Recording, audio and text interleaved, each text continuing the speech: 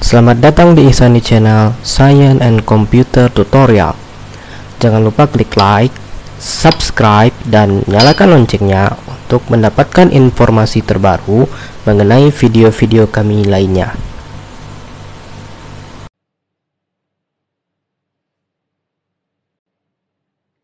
Pada video kali ini kita akan membahas mengenai sintesis aspirin atau asam asetil salisilat di laboratorium.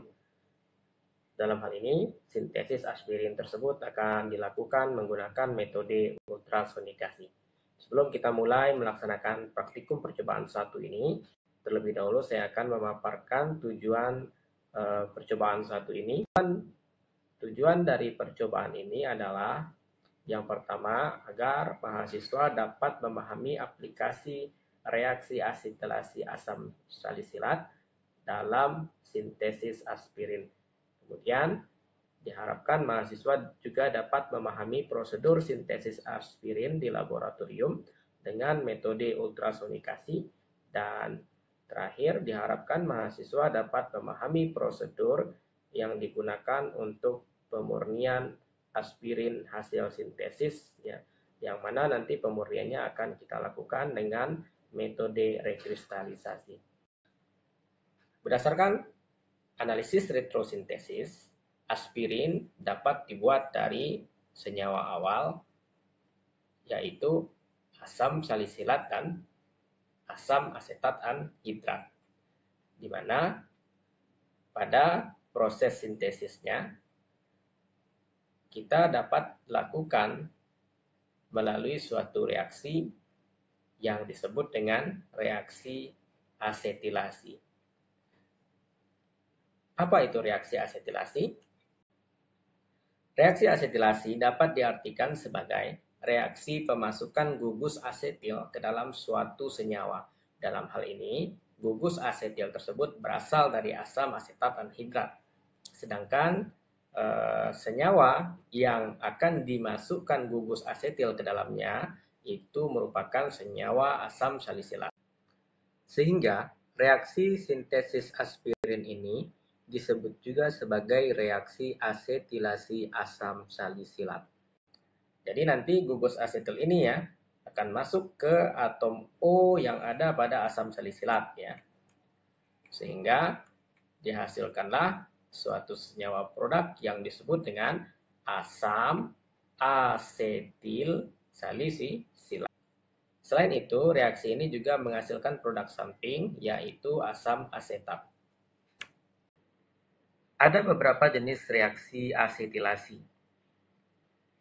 Ada yang disebut dengan reaksi C-asetilasi, kemudian ada juga yang disebut dengan reaksi O-asetilasi, dan ada juga yang disebut dengan reaksi N-asetilasi. Contoh reaksi C-asetilasi itu dapat kita lihat pada reaksi asilasi Friedel-Crafts. Dalam hal ini, gugus asetil yang berasal dari asetil klorida itu akan masuk pada atom karbon pada cincin ben benzena sehingga akan terbentuklah produk yaitu suatu senyawa asetofenon. Jadi ini disebut dengan C-asetilasi karena gugus asetilnya masuk pada karbon benzena. Nah, kemudian Reaksi sintesis aspirin ini apakah termasuk C-asetilasi atau bukan? Bukan, ya.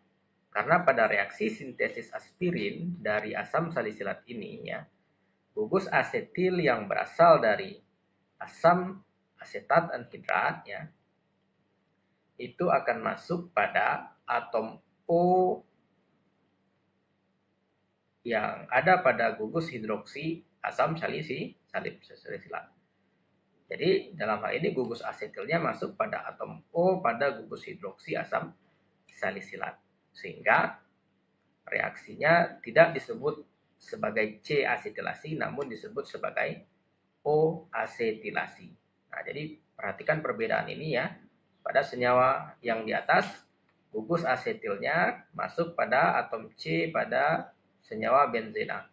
Sedangkan pada reaksi yang di bawah, gugus asetilnya masuk pada atom O dari senyawa asam salisilat. Nah, kemudian bagaimana dengan reaksi N-asetilasi? Contoh reaksi N-asetilasi dapat kita lihat pada reaksi sintesis paracetamol dari para aminofenol. Jadi ketika para aminofenol direaksikan dengan asam asetat anhidrat, maka gugus asetil dari asam asetat anhidrat tersebut akan masuk pada atom N yang terdapat pada senyawa para aminofenol. Sehingga dihasilkanlah senyawa paracetamol. Nah, kemudian sebelum kita melakukan praktikum ya terlebih dahulu saya akan sedikit memberikan penjelasan mengenai alat dan metode yang akan kita gunakan dalam sintesis aspirin kali ini. Dalam hal ini metode yang akan kita gunakan disebut sebagai metode ultrasonikasi, sedangkan alatnya disebut sebagai ultrasonikator.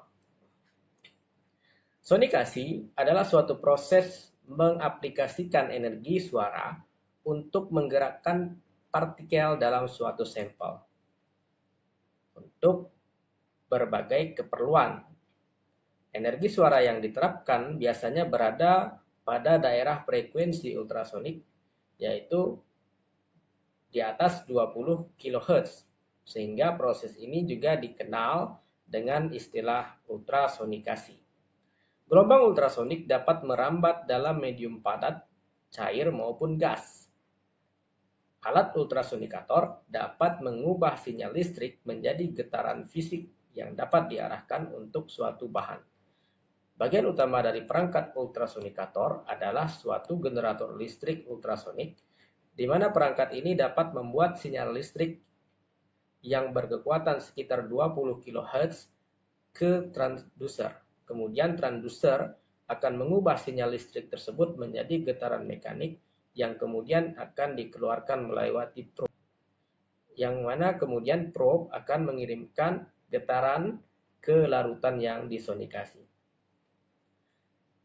Nah, adapun aplikasi metode ini ya tidak hanya untuk sintesis ya. Metode ini dapat digunakan untuk membantu kelarutan. Jadi getaran yang dihasilkan oleh alat ini dapat dimanfaatkan untuk membantu proses kelarutan. Karena gelombang ultrasonik atau getaran ultrasonik yang dihasilkan oleh alat ultrasonikator itu juga dapat membantu memecah zat padat dalam cairan. Selain itu, alat ini juga dapat digunakan untuk mencuci beberapa peralatan. Sehingga ada juga ultrasonikator itu yang disebut sebagai ultrasonic washer ya. Selain itu, metode ini juga dapat digunakan untuk proses ekstraksi sampel bahan alam. Jadi, nanti kalau saudara membaca pada beberapa literatur ya, ada juga proses ekstraksi yang dilakukan menggunakan metode ultrasonikasi. Jadi, seperti biasa ya, eh, dilakukan maserasi, misalkan di dalam suatu wadah Kemudian wadah tersebut diletakkan di dalam uh, water bath ya yang ada pada alat ultrasonikator. Kemudian diaplikasikan getaran atau suhunya kita bisa atur ya berapa.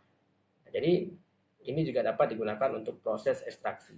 Nah, kemudian alat ini juga dapat digunakan untuk mesintesis nanopartikel. Nah, dan yang akan kita aplikasikan pada percobaan kali ini adalah untuk mensintesis suatu senyawa organik, ya. khususnya adalah senyawa obat, yaitu aspirin. Ya. Aplikasi metode ultrasonikasi ini dalam uh, sintesis senyawa aspirin nantinya akan kita langsung peragakan di laboratorium. Ya. Jadi nanti kita akan langsung ke laboratorium melihat, menyaksikan ya bagaimana senyawa aspirin dapat disintesis dari asam salisilat menggunakan metode ini.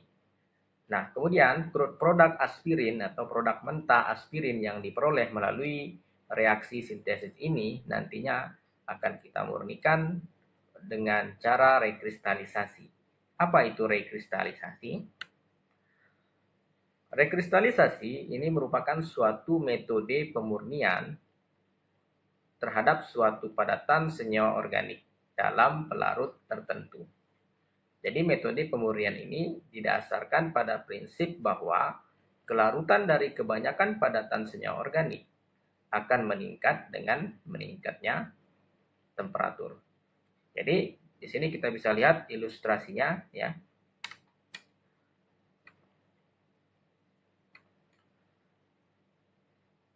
Untuk melakukan pemurnian dengan metode rekristalisasi ya, kristal aspirin tadi eh, yang kita peroleh melalui sintesis ya akan kita larutkan dalam suatu pelarut nantinya ya di mana e, kita misalkan kristal aspirin itu adalah titik-titik yang berwarna abu-abu sedangkan yang berwarna merah ini merupakan senyawa pengotornya.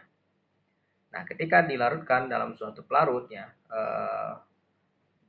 dengan bantuan pemanasan maka baik aspirin maupun pengotornya akan larut Nah, kemudian apabila larutan tersebut didinginkan secara perlahan ya, maka kelarutan senyawa aspirin tadi akan berkurang.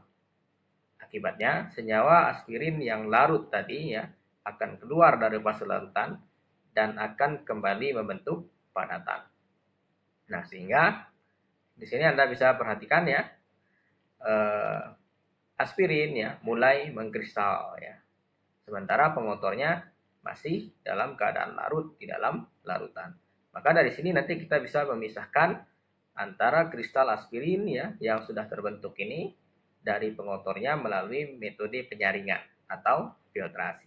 Jadi ini kita saring ya, maka aspirinnya nanti akan nyangkut di kertas saring sedangkan pengotornya ya akan terbawa bersama fil filtrat. Nah, biasanya sambil menyaring nanti kita akan cuci juga dengan pelarut di pelarut dingin. Nah, untuk proses rekristalisasi crude produk aspirin ini nantinya juga akan kita praktikkan secara langsung di di laboratorium.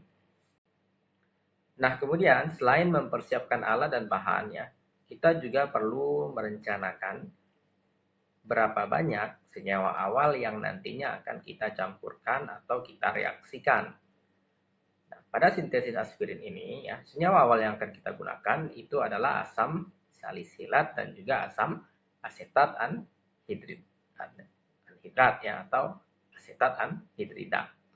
Nah, asam salisilat itu berwujud padat pada temperatur ruang ya.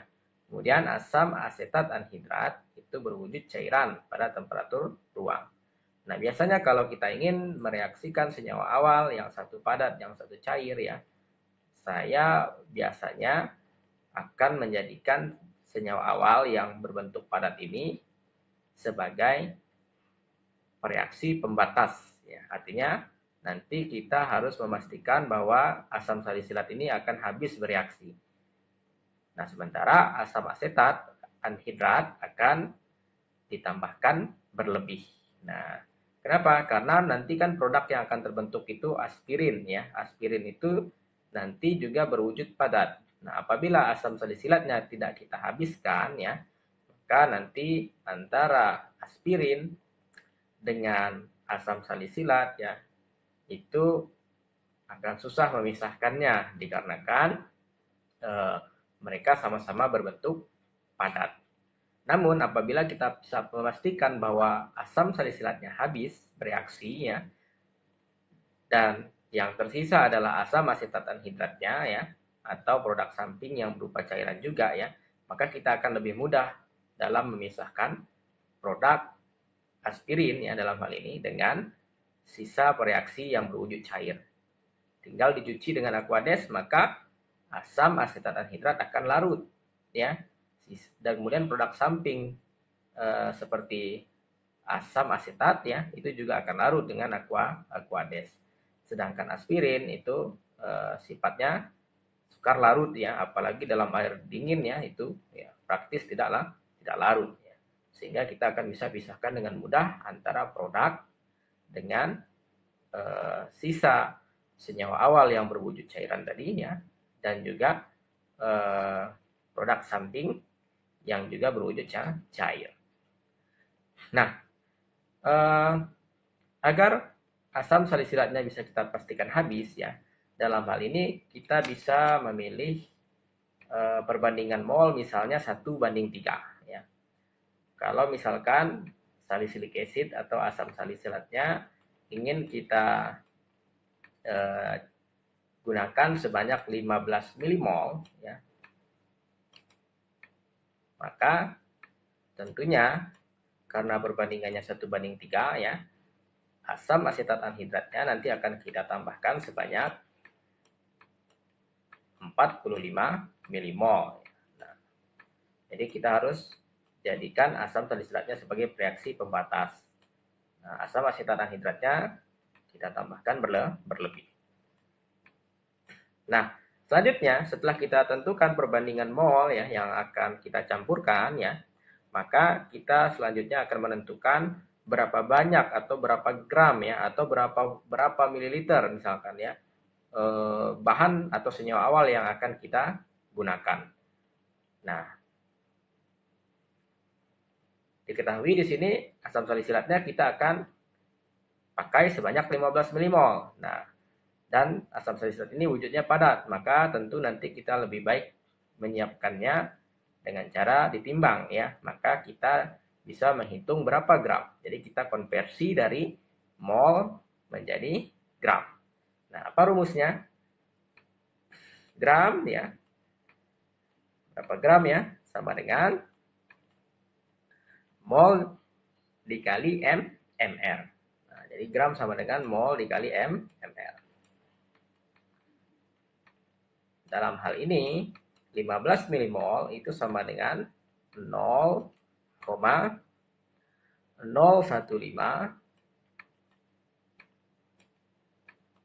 mol. Nah, kemudian berapa mr asam salisilat ya? Anda bisa menghitung mr asam salisilat ini dengan tepat ya dan cepat menggunakan uh, aplikasi ChemDraw misalnya ya. Tinggal gambarkan strukturnya, kemudian nanti uh, ada menunya yang dapat menampilkan uh, berapa molecular weight atau berat molekul dari asam salisilat. Nah, berdasarkan data dari ChemDraw ya, Asam salisilat ini mempunyai berat molekul 138,12. Nah, jadi molnya kita kalikan dengan 138,12 apa satuan mr gram per gram per mol. Nah, sehingga di sini molnya kita coret ya. Coret, ini molnya dicoret ya. Kemudian 0,015 dikali 138,12 dihasilkanlah eh, 2,071 eh 2,072 ya gram. Maka untuk mereaksikan eh, asam salisilat sebanyak 15 milimol ya, nanti kita akan timbang asam salisilatnya eh, sekitar 2 gram. Kemudian kita lanjutkan untuk asam asetat anhidrida ya. Kita ingin reaksikan tadi sebanyak 45 milimol ya. Cairan ya. Asam asetat anhidrat ini merupakan suatu cairan ya. Maka di labelnya, di botolnya, di kemasannya nanti kita bisa perhatikan bahwa eh, senyawa ini mempunyai densitas ya. Yaitu berapa densitasnya? Anda bisa juga cari di internet nanti ya. Nah, di botol, di kemasan itu tertulis densitasnya 1,082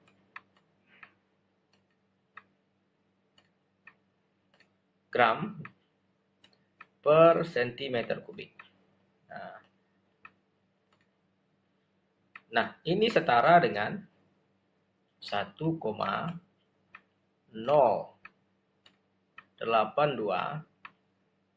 gram per mililiter. Jadi sentimeter kubik itu sama dengan mililiter. Kalau desimeter kubik itu setara dengan liter. Nah, kemudian di kemasan juga dapat kita eh, lihat bahwa kemurniannya ya itu adalah persentasenya itu ada 99%.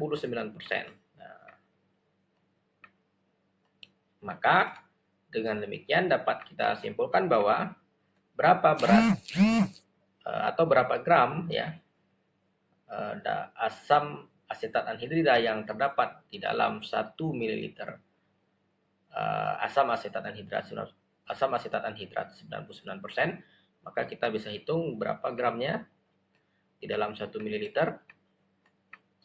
Gram sama dengan uh, berapa kemurniannya ya? 99% berarti 0,99 dikali dengan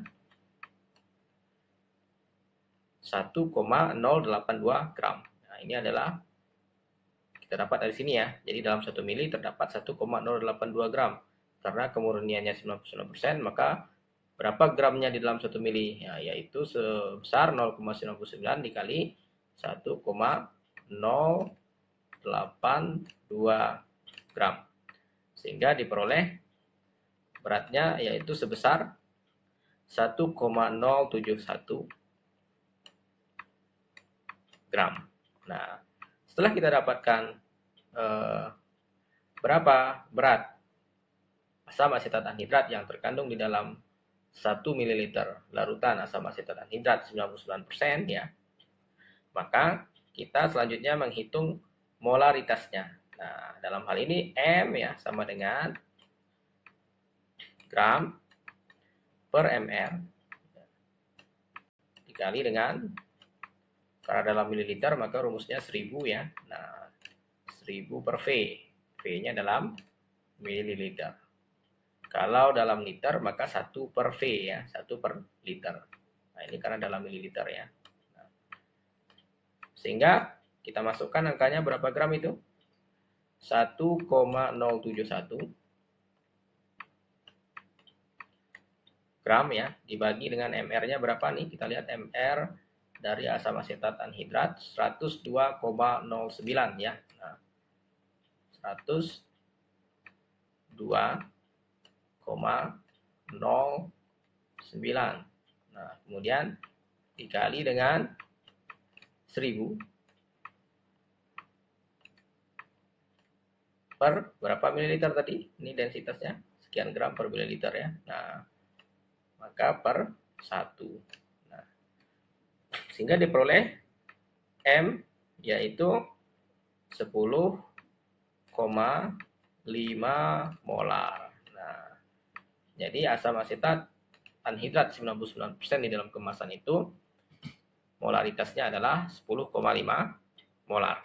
Nah, kemudian berapa volume yang kita ambil jika kita ingin mereaksikan asam asetat anhidrat itu sebanyak 45 milimol.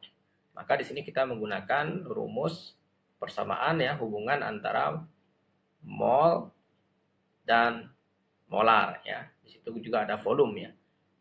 Apa rumusnya? Uh, molaritas itu kan sama dengan N per V. Sekarang di sini kita ingin menghitung berapa V-nya. Maka V ya sama dengan mol per molar. Nah, berapa mol dibagi dengan mol molar. Dalam hal ini molnya adalah 45. Nah, kemudian molarnya adalah 10,5.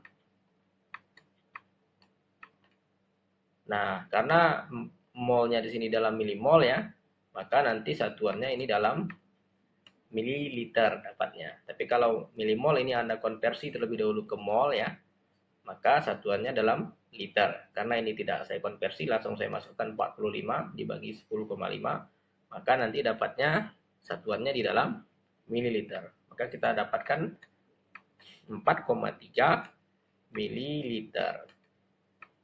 Atau ini sekitar eh, 5 mililiter. Jadi nanti yang akan kita takar ya, itu sekitar 5 ml.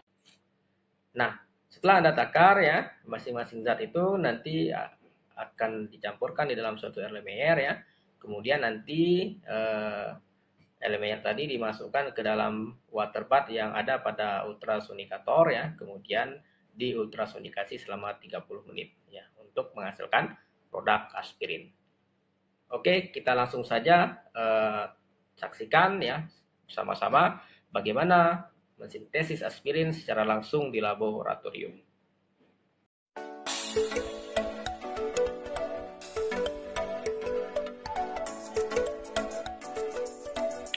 Timbang sebanyak 2 gram asam salisilat, kemudian masukkan ke dalam Erle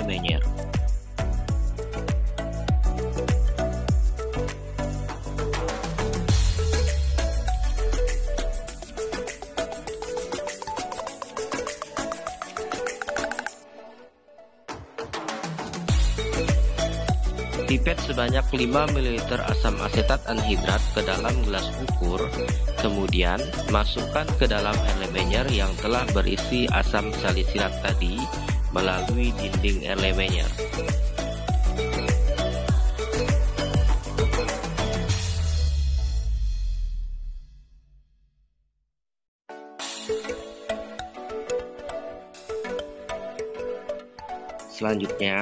Tambahkan asam sulfat pekat sebanyak 3 tetes sebagai katalis.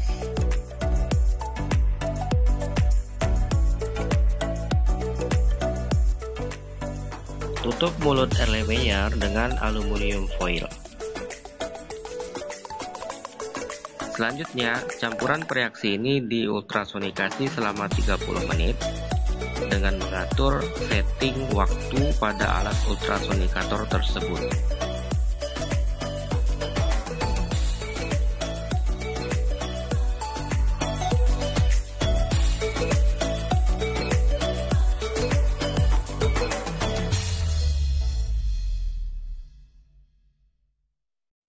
Setelah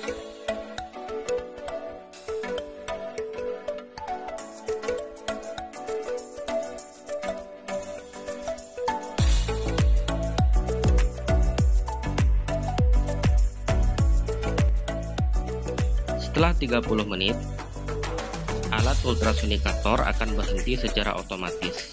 Kemudian, tambahkan aquades dingin sebanyak 20 ml ke dalam campuran reaksi.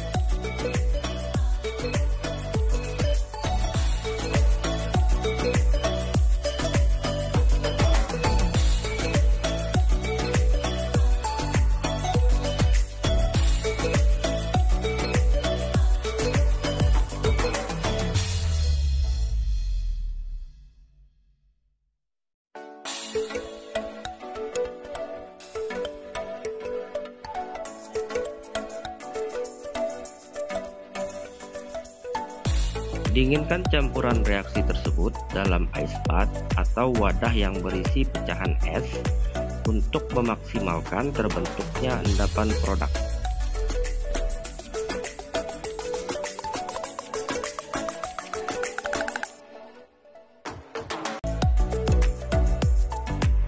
Saring endapan aspirin yang terbentuk menggunakan corong Buchner yang dihubungkan dengan pompa vakum.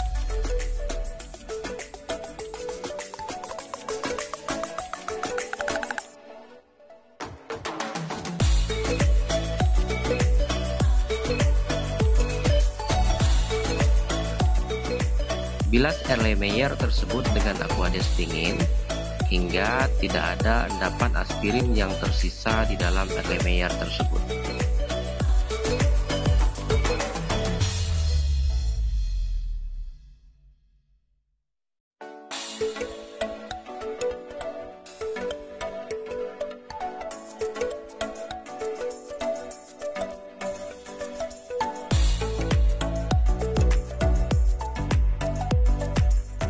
Cuci endapan aspirin tersebut dengan aquades dingin.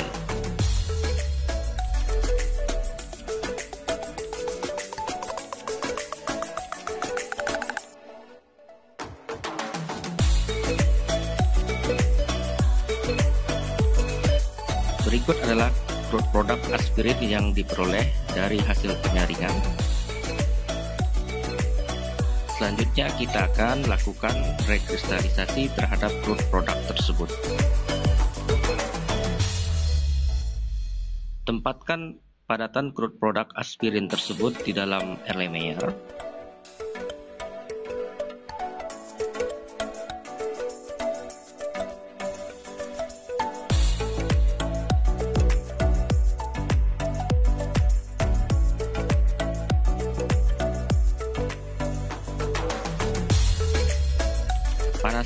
Panaskan etanol hingga suhu 50 derajat Celcius. Pipet 5 ml etanol panas tersebut ke dalam Erlenmeyer yang berisi produk aspirin.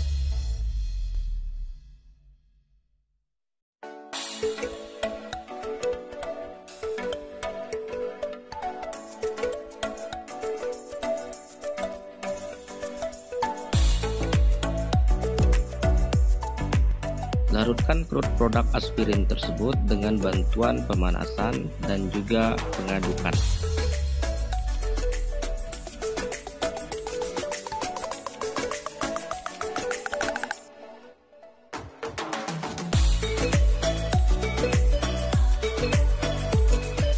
Tambahkan 50 ml aquades hangat ke dalam larutan produk aspirin yang terdapat di dalam Erlenmeyer tersebut.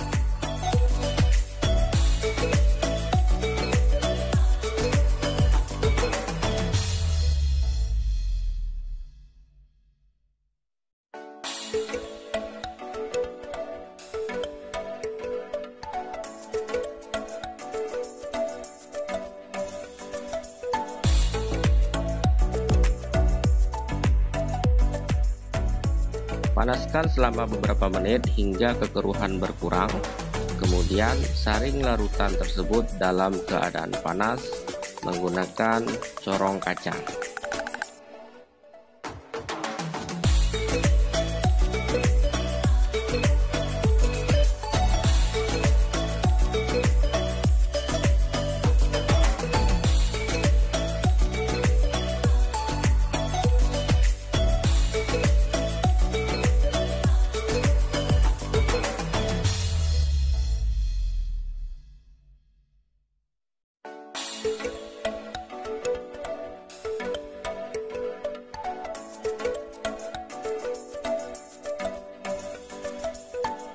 Dinginkan filtrat tersebut hingga mencapai temperatur ruang dan amati pembentukan kristal pada dasar elemer.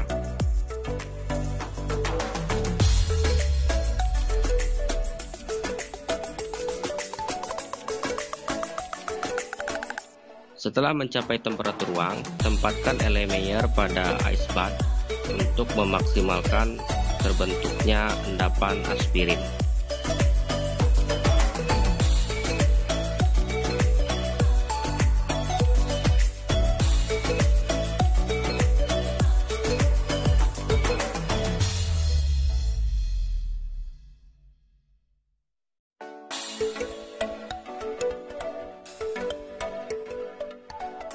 Timbang kertas saring yang akan digunakan untuk menyaring kristal aspirin hasil rekristalisasi.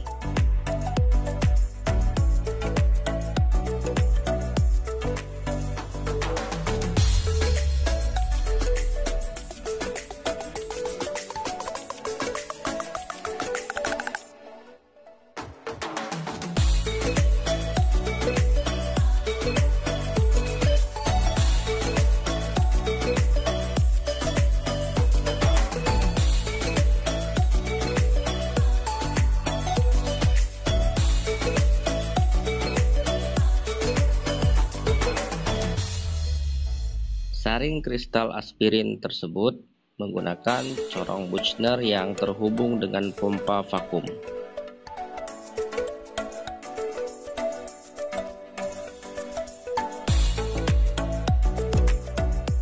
Bilas Erlenmeyer tersebut dengan aquades hingga tidak ada kristal aspirin yang tersisa di dalam Erlenmeyer tersebut.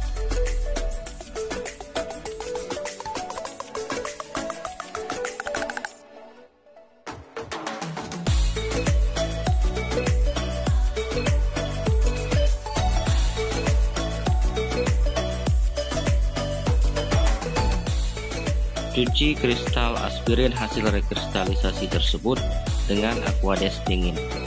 Kemudian, lanjutkan proses pemakuman untuk mengurangi kadar air yang terdapat pada kristal aspirin hasil rekristalisasi.